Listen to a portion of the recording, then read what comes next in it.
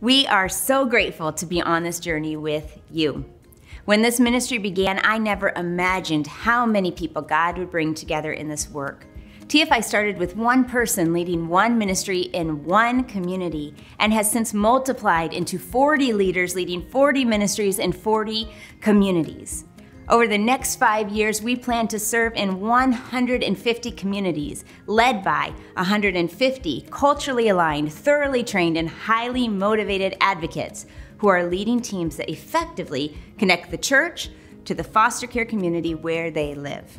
We expect to see noticeable difference in these communities, so much so that people everywhere recognize the importance of the church's engagement with the foster care community and are experiencing Jesus by walking together. In John 14, 12, Jesus said, Whoever believes in me will do the works I have been doing. Well, at TFI, Jesus is the reason behind everything that we do. But do you know what the best part about this verse is? Jesus didn't stop there.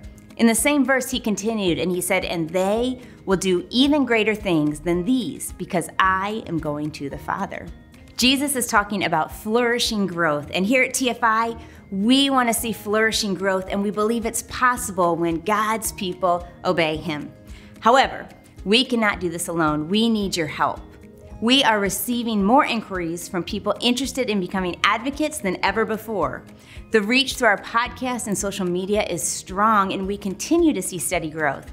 In fact, our podcast crossed over the 675,000 downloads mark last month. Our listeners span across all 50 states and over 75 countries. Now is the time that we need your support. Your investment will help us scale TFI ministries all across the nation. Would you prayerfully consider making a special year end gift today?